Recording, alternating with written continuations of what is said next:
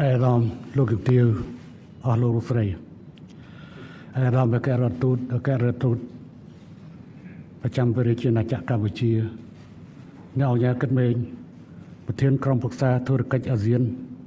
និងជាប្រធានសភាពាណិជ្ជកម្មកម្ពុជាអេរ៉មបណ្ឌិត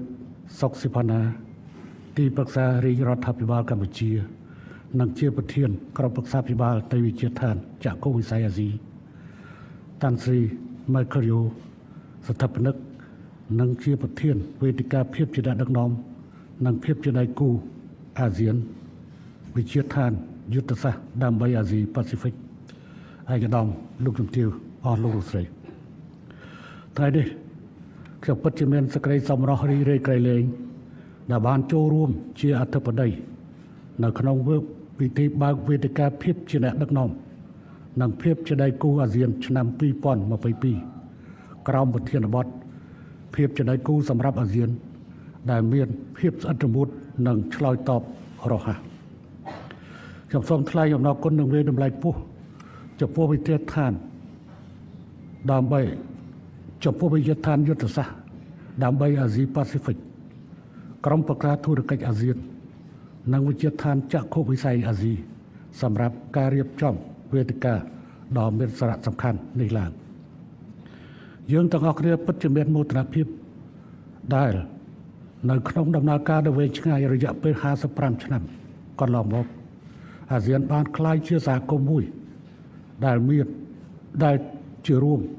ពោពេញដោយសន្តិភាពសន្តិសុខស្ថិរភាពជីវភាពនិងវិបុលភាព ជាការពិត ស្របពេលដែលអាស៊ានបាននឹងកំពុងងើបចេញពីវិបត្តិនៃ COVID-19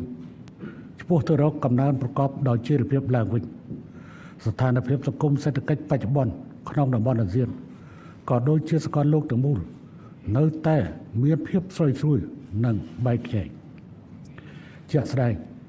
ការបន្តអូសបន្លាយនៃសង្គ្រាមរុស្ស៊ីអ៊ុយក្រែនបានបន្តិចបង្ហាក់ការស្ដារសង្គមសេដ្ឋកិច្ចឡើងវិញតាមរយៈ ការបង្កឲ្យមានការកើនឡើងនៃសម្ពាធអតិផរណា ការកកស្ទះប្រព័ន្ធ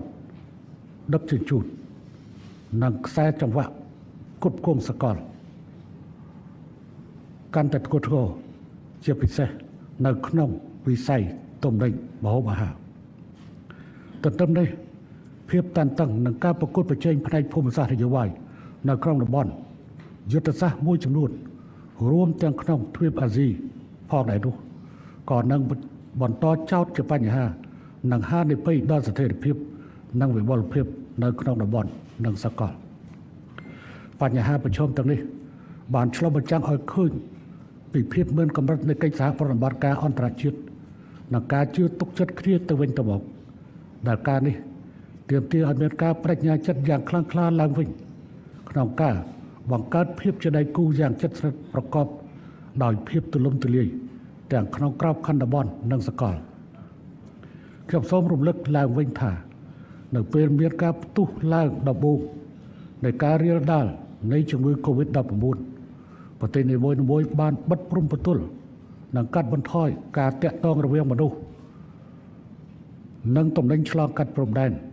ដោយសារនៅពេលនោះយើងមិនតាន់យល់ច្បាស់អំពីជំងឺនេះប៉ុន្តែ ការថមថយនៃការឆ្លងរាលដាលនៅក្នុងកម្រិតមួយ ដែលអាចគ្រប់គ្រងបាន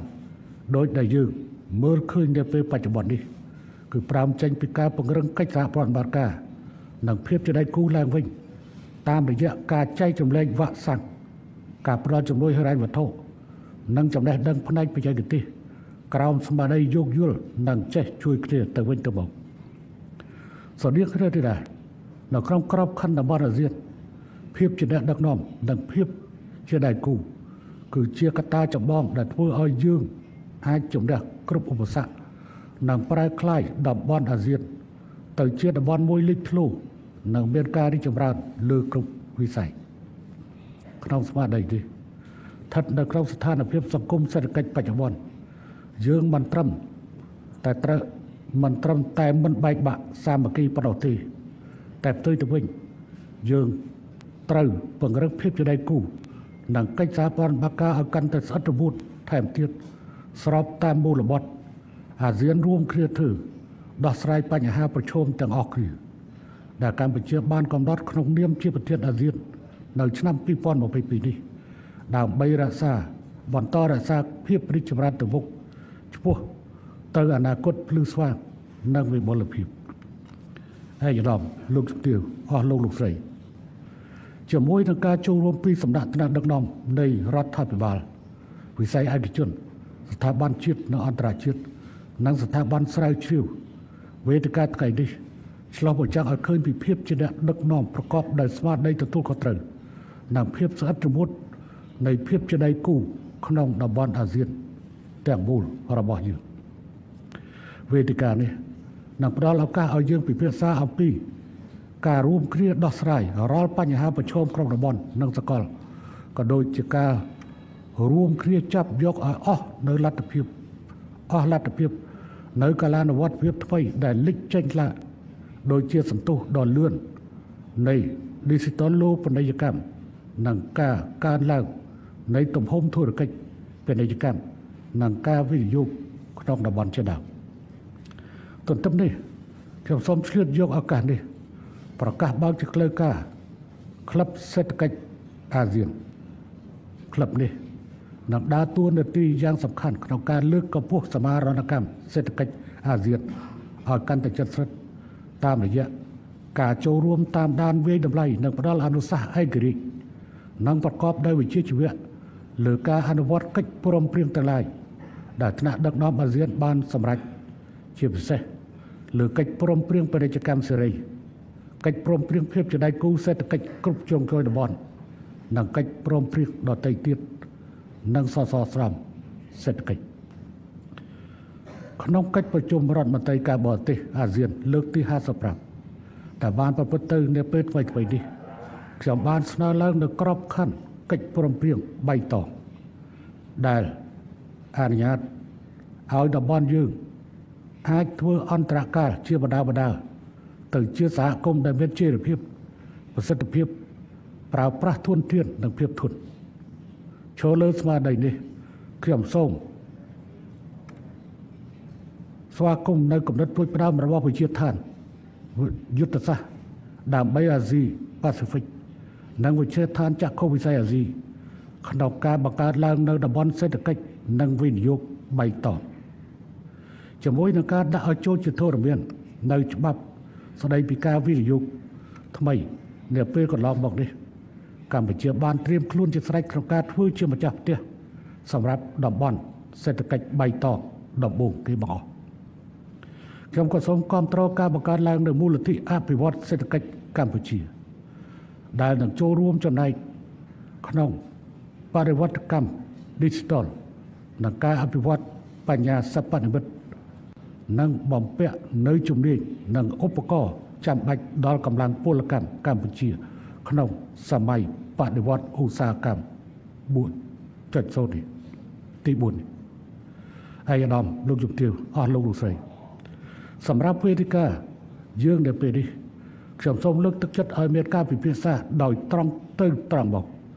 ក្នុងស្មារតីយោគយល់គ្នាទៅវិញទៅមកដើម្បីអាចទទួលបានលទ្ធផល ជាផ្លែផ្កាដ៏ពិតប្រាកដ និងបង្ហាញឲ្យឃើញឲ្យសកលលោកបានឃើញពីឆន្ទៈនិងការក្នុងការបន្តពង្រឹងភាពជាអ្នកដឹកនាំនិងភាពជាដៃគូរបស់អាស៊ានដោយយកការសន្ទនាដោយសន្តិវិធីជាយន្តការដោះស្រាយបញ្ហាទោះបីឋានៈស្ថិតក្នុងបរិការមួយដែលច្របូកច្របល់និងមានការធ្លាក់ចុះនៃការជឿទុកចិត្តគ្នាទៅវិញទៅមកយ៉ាងណាក៏ដោយដើម្បីជាធៀបចូលបន្ថែមសម្រាប់ កិច្ចពិភាក្សានៅថ្ងៃនេះសូមអនុញ្ញាតឲ្យខ្ញុំចូលរួមផ្ដល់យោបល់ផ្ទាល់ខ្លួនមួយចំនួនដូចខាងក្រោមទី1ការអភិវឌ្ឍសង្គមសេដ្ឋកិច្ចមិនអាចសម្រេចបានឡើយដរាបណាមិនមានសន្តិភាពស្ថិរភាពនិងសន្តិស្ថិរភាពនិងសន្តិសុខសន្តិភាពពេញលេញក្នុងន័យនេះអាស៊ានត្រូវបញ្ជាឲ្យបាននៅភ្លើងសង្គ្រាម ដែលគ្មានអ្នកឈ្នះនិងអ្នកចាញ់ប៉ុន្តែមានតែការវិនិច្ឆ័យហិនហោចនិងការបាត់បង់អាយុជីវិតរបស់ប្រជាជនកម្ពុជា ដែលជាប្រទេសធ្លាប់ឆ្លងកាត់ប្រវត្តិជូរជាត់ជាច្រើនដោយសារភ្លើងសង្គ្រាមសូមក្រើនរំលឹកយ៉ាងទទូចថា ការដោះស្រាយចំនួនដោយសន្តិវិធីប្រកបដោយស្មារតីយោគយល់គ្នាទៅវិញទៅមក និងការកំណត់សុខភាពភាពប្រជាជនជាអតិភិបចម្បងបំផុត គឺជានយោបាយឈ្នះឈ្នះនាំទៅរកសុខសន្តិភាពនិងវិបុលភាពយ៉ាងពិតប្រាកដទី2នៅក្នុងបរិការដែល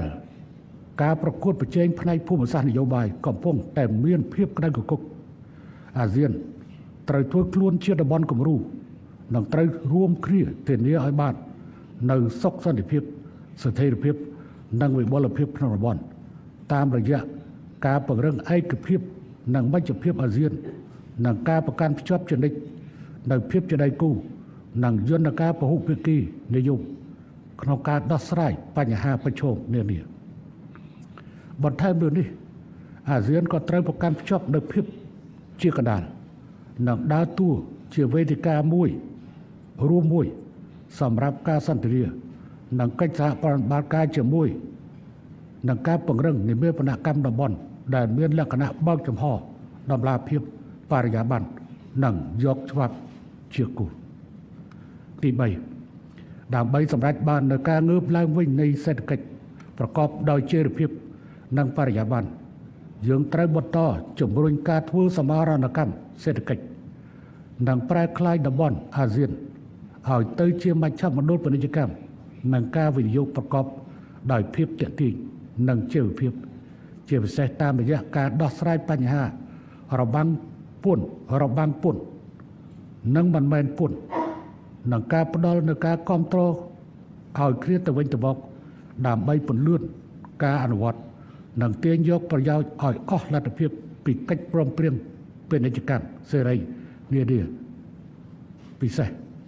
កិច្ចព្រមព្រៀងភាពជាដៃគូសេដ្ឋកិច្ចគ្រប់ជ្រុងជ្រោយតំបន់ដែលជាកិច្ចព្រមព្រៀងពាណិជ្ជកម្មសេរីធំបំផុតនៅក្នុងប្រវត្តិសាស្ត្រសកលលោកទី4អាស៊ានត្រូវយកចិត្តទុកដាក់ជាពិសេសលើការលើកកម្ពស់សន្តិសុខសេដ្ឋកិច្ចសម្ដៅបំពេញរាល់តម្រូវការចាំបាច់របស់ប្រជាជននិងធានាបានទនឹងធានាការទទួលបាននូវផលប្រយោជន៍ប្រកបដោយបរិយាបន្ននិងសមាធិពី កម្ដៅសេដ្ឋកិច្ចក្នុងប្រទេសនិងក្នុងតំបន់តាមរយៈការអភិវឌ្ឍហេដ្ឋារចនាសម្ព័ន្ធយុទ្ធសាស្ត្រការពង្រឹងសហគ្រិនភាព និងផ្ដល់ការគ្រប់គ្រងដល់សហគ្រាសធុនមីក្រូតូចនិងមធ្យមការពង្រឹងវិស័យអប់រំសុខាភិបាល និងកិច្ចគាំពារសង្គមការកាត់បន្ថយគម្លាតនៃការអភិវឌ្ឍការបង្កើតការងារការបន្ថយវិសមភាពប្រាក់ចំណូល និងការធានាសន្តិសុខវានិងទី5អាស៊ានត្រូវសម្លឹងឆ្ពោះទៅមុខនិងរួមគ្នាទាញយកផលប្រយោជន៍ឲ្យបានជាអតិបរាពីសក្តានុពលនិងកាលានុវត្តភាពដែលចេញពីនិន្នាការសកល ដូចជាសេដ្ឋកិច្ចវិលជុំសេដ្ឋកិច្ចបៃតងនិងជាពិសេសការធ្វើ digital លោបនីយកម្មដែល នឹងក្លាយជាកម្លាំងចលករកលឹះក្នុងការលើកកម្ពស់ការតបជាប់គ្រប់វិស័យទាំងផ្នែកសង្គមសេដ្ឋកិច្ចការវិនិយោគពាណិជ្ជកម្មនិងនយោបាយក៏ដូចជារួមគ្នាឆ្លើយតបទៅនឹងបញ្ហាប្រឈមនានាដូចជាការប្រែប្រួលអាកាសធាតុឲ្យបានឆាប់រហ័សស្របទៅតាមមូលបត់របស់យើងនៅថ្ងៃនេះឯកឧត្តមលោកកពីអស់លោករុស្ស៊ីក្នុងនាមជាប្រធានអាស៊ានឆ្នាំ2022នេះ កម្ពុជាបាននឹងកំពុងចូលរួមយ៉ាងសកម្មក្នុងការពង្រីកនិងពង្រឹងកិច្ចសហប្រតិបត្តិការនិងភាពជាដៃគូក្នុងការគ្រប់គ្រងគ្រប់ក្នុងគ្រប់ទម្រង់និងគ្រប់វិស័យទាំងផ្នែកសង្គមសេដ្ឋកិច្ចពាណិជ្ជកម្មការវិនិយោគនិងនយោបាយជាមួយនឹងប្រទេសជាមិត្តដៃគូអភិវឌ្ឍនិងសហគមន៍អន្តរជាតិទាំងក្នុងក្របខ័ណ្ឌប្រទេសនិងតំបន់ជាពិសេសតាមរយៈការរៀបចំវេទិកាសន្ទនា ដែលមានការចូលរួមពីគ្រប់ភាគីពាក់ព័ន្ធកម្ពុជាចង់ឃើញតំបន់អាស៊ានក៏ដូចជាសកលលោកទាំងមូលមានសុខសន្តិភាពស្ថិរភាពនិងវិបុលភាពយ៉ាងវិបុលភាពប្រកបដោយចីរភាពនិងបរិយាបន្នយ៉ាងពិតប្រាកដជាមួយនឹងការគោរពអធិបតេយ្យភាពនៃប្រទេសនីមួយៗការអនុវត្តតាមច្បាប់អន្តរជាតិជាពិសេសធម្មនុញ្ញអង្គការសហប្រជាជាតិនិងការប្រកាន់ភ្ជាប់ជានិច្ចនៅយន្តការពហុភាគីនិយម ដែលមានការចូលរួមសន្ទនាពីគ្រប់ភាគីពាក់ព័ន្ធនិងការរួមគ្នាស្វែងរកដំណោះស្រាយបញ្ហាប្រឈមដោយសន្តិវិធី ជាមួយនឹងស្មារតីបើកចំហយោគយល់និងអត់ធ្មត់ឲ្យគ្នាទៅវិញទៅមកខ្ញុំសូមជូនពរឲ្យវេទិកាដំណើរការទៅប្រកបទៅដោយរលូននិងប្រកបដោយលទ្ធផលជាផ្លែផ្កានិងសូមជូនពរឯកឧត្តមលោកជំទាវលោកលោកស្រី និងភ្ញៀវកិត្តិយសទាំងអស់ឲ្យមានជោគជ័យខ្ញុំសូមប្រកាសបើកវេទិកាភាពជាអ្នកដឹកនាំនិងភាពជាដៃគូអាស៊ានឆ្នាំ2022ចាប់ពីពេលនេះតទៅសម្រាប់